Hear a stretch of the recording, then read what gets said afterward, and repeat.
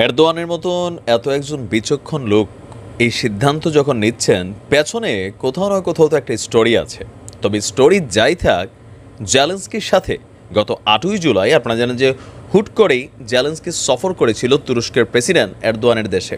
আর সেইখানে যাবার পর ভালো নানান ধরনের কথা হয়েছে প্রথমত একটা কথা বলে রাশিয়ারে হালকা খেপাইছে। দ্বিতীয়ত যে কালো চুক্তি করেছে বা যে কালো কাজ করেছে, সেই কাজের পর রাশিয়ার ক্ষিপ্ত হওয়ার জায়গাটা শতভাগ যায়। দ্যাট ইভেন আমি যদি একটু কনসার্ন করি মানে লাস্ট যেই এরদোয়ানের সাথে পশ্চিমাদের অবস্থান, তাকে নির্বাচনে হারানোর জন্য যে অ্যাক্টিভিটিস বা সকল কিছু মিলিয়ে রাশিয়ার সাথে যে বন্ধুত্বপূর্ণ সম্পর্ক ছিল, কোথাও না কোথাও ক্ষমতায় যাবার পর দুই দুইটা কর্ম একদম চোখে আঙ্গুল দিয়ে দেখিয়ে দিল।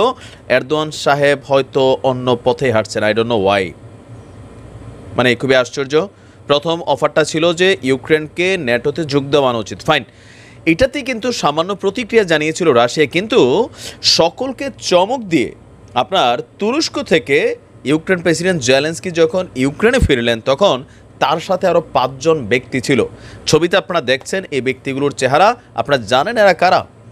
এরা হচ্ছে পাঁচজন ইউক্রেনীয় কমান্ডার এই কমান্ডাররা আপনার, আপনাদের খেয়াল থাকার কথা, যুদ্ধের প্রথম দিকে মারিওপোলের আজব স্টিল কারখানা একটা যুদ্ধ চলছে লম্বা সময়। সেই লম্বা সময়ের যুদ্ধে রাশিয়ান সেনারা অনেক সেনা প্রাণ হারিয়েছেন মানে ইউক্রেনও হারিয়েছেন। তো দিন শেষে সে আজব স্টিল মানে কারখানা থেকে এই পাঁচজন কমান্ডারকে বন্দি করেছিল রাশিয়ান সেনারা।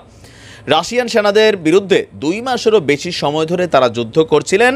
আর পরবর্তী সময় যখন তারা বন্দী হয়েছে, তখন রাশিয়ার অনুমতিক্রমে রাশিয়ান সেনাদের মাধ্যমে তাদেরকে নিয়ে যাওয়া হয় তুরস্কে। তাদের প্রতি শর্ত ছিল এদেরকে রাশিয়া না নিয়ে তুরস্কে নেওয়ার কারণ, রাশিয়া ইউক্রেন যুদ্ধ যতদিন চলবে, এরা ইউক্রেন ফিরতে পারবে না, যেহেতু এরা কমান্ডার, বুঝছেন? এমনকি অভিজ্ঞ কমান্ডার। সো তখন এরদোয়ান বলছিল যে, এদেরকে আমাদের দেশে রাইখা দেন, আমরা এদেরকে হেফাজতে রাখব আনটিল যুদ্ধ শেষ হওয়ার আগে আমরা এদেরকে ছাড়বো না। কিন্তু আপনার দেখা গেল যে, এই গত আটই জুলাই যখন গেল, নয়ই জুলাই, আমরা দেখলাম যে জেলেন্সকির সাথে এই পাঁচ কমান্ডার প্লেনে করে ইউক্রেনে ফিরে গেছে, আর এতেই খেপেছে রাশিয়া। জেলেন্সকির অনুরোধে হঠাৎ করেই রাশিয়াকে না জানিয়েই এই পাঁচ কমান্ডারকে ছেড়ে দিয়েছে এরদোয়ান। এই বিষয়ে তাৎক্ষণিক প্রতিক্রিয়া জানিয়েছে রাশিয়া। দেশটির প্রেসিডেন্ট দপ্তর ক্রামলিনের মুখপাত্র দিমিত্রি বলছেন, তাদের অজান্তেই কমান্ডারদেরকে ইউক্রেনের কাছে হস্তান্তর করেছে এরদোয়ান। এর মাধ্যমে তুরস্ক চুক্তি লঙ্ঘন করেছে এবং কি বন্ধুত্বের সম্পর্কেও আচর ফেলেছে। কমান্ডারদের ছেড়ে যাওয়ার বিষয় নিয়ে রাশিয়ার প্রতিক্রিয়ার জানানোর পর এটার আসলে কী ধরনের কি বলা হয় যে সম্পর্কের মধ্যে ফাটল ধরবে কিনা হান্ড্রেড পার্সেন্ট পড়বে। আজব কমান্ডারদের ছেড়ে দেওয়ার বিষয়টিকে রাশিয়া মুখে চপেটাঘাত হিসাবেই দেখছে। কিন্তু এটির কোনো প্রভাব কি পড়বে সেটা সম্পর্কে অগ্রিম বলা যাচ্ছে না। আর এগুলো বলছেন যে কা, একজন বিশেষজ্ঞ, সামরিক বিশেষজ্ঞ পাবেল ফেল গেনহার এরদোয়ানের জন্য এটি গুরুত্বপূর্ণ কোনো প্রতিক্রিয়া হবে? মস্কো কিছু উচ্চবাচ্য করবে এবং পুরো বিষয়টি নিয়ে কি সিদ্ধান্ত নিতে পারে সেটা হচ্ছে বড় কথা।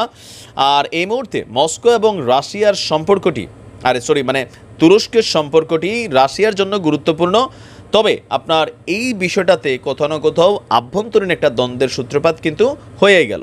আর ইউক্রেন প্রেসিডেন্ট, আপনার জেলি এদেরকে ফিরিয়ে নিয়ে যাওয়ার সময় এই যে সেলফি টেলফি তুইলা বলতেছেন যে দেশের ছেলেরা দেশে ফিরে এসেছে, যাওয়ার পর এদেরকে আবার বর্তমানে যে যুদ্ধের কমান্ডার আছে, তাদের সাথে আবার কানেক্ট করা হয়েছে। সো তারা যুদ্ধে ব্যাক করতেছে অ্যাজ এ কমান্ডিং পজিশনে যেহেতু এই মুহূর্তে রাশিয়া কিছু কিছু জায়গায় নাকাল অবস্থায় আছে, বেশিরভাগ জায়গায় পজিটিভ আছে, তারপরেও নতুন এই মানুষগুলো এখানে এসে ভর করা রাশিয়ার জন্য ঝামেলাই। এখন তুরস্কের প্রেসিডেন্টের মতন একজন বুঝের মানুষ কেন আসলে হঠাৎ করে এই ধরনের সিদ্ধান্ত নিল? আমি কোনো রকম বুঝে আসতেছেন আবার দেখেন মানে এরদোয়ানের ভিজিটের পর তুরস্কের বক্তব্য হচ্ছে যে ইউক্রেনকে ন্যাটোতে যোগদানের বিষয়টা অ্যাজ সুন এজ মানে কি বলা হয় যে করে ফেলা উচিত এবং কি এই ক্ষেত্রে এরদোয়ান ভোট দেবে। তো এরদোয়ান যদি ভোট দেয় মানে আমার কথা হলো অন্য দেশ দিল না দিল সেটা জরুরি না। এরদোয়ান ভোট দিচ্ছে, এখন ইউক্রেন যদি ন্যাটোতে যায়, তাহলে তো বাস মারা খাবে কি? রাশিয়া।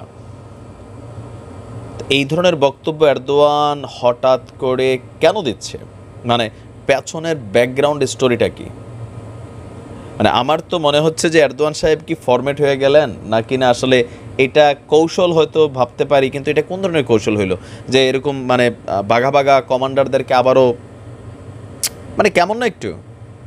দেখা যাক রাশিয়া কি বলে বা এটা থেকে আসলে পরিস্থিতি কোন দিকে যায়। ভালো থাকুন, আসসালামু আলাইকুম।